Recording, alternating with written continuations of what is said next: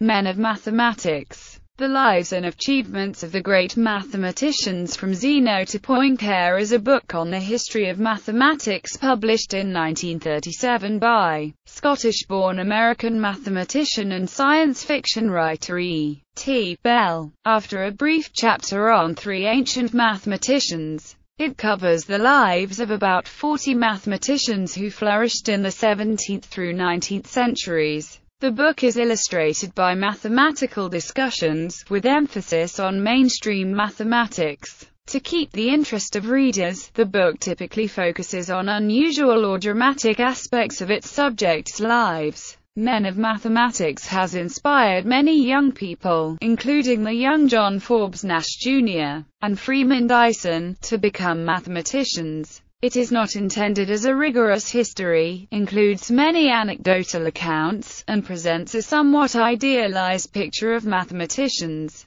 their personalities, research and controversies. Contents Zeno, Eudoxus, Archimedes, Descartes, Fermat, Pascal, Newton, Leibniz, the Bernoullis, Euler, Lagrange, Laplace, Monge, Fourier, Poncelet, Gauss, Cauchy, Lobachevsky, Abel, Jacobi, Hamilton, Galois, Sylvester, Cayley, Weierstrass, Sonia Kowalewski, Sig, Boole, Hermite, Kronecker, Riemann, Kummer, Dedekind, Poincaré, Cantor, Comments. In the opinion of Ivor Grattan Guinness the mathematics profession was poorly served by Bell's book, perhaps the most widely read modern book on the history of mathematics. As it is also one of the worst, it can be said to have done a considerable disservice to the profession. Eric Bell was criticized in 1983 for incorrectly ascribing the origin of space-time to Joseph Lagrange. There is a general impression based on the widely read book of E.T. Bell that Lagrange, in his Mechanique Analytique, was the first to have connected time to space as a fourth coordinate.